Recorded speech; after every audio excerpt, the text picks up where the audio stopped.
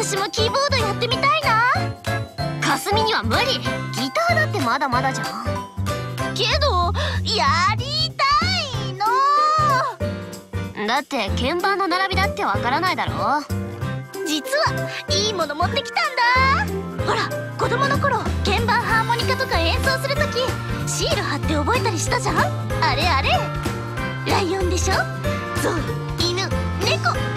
できた曲ならえーとライオンライオン猫サルサルゾウそれって余計覚えにくいだろ。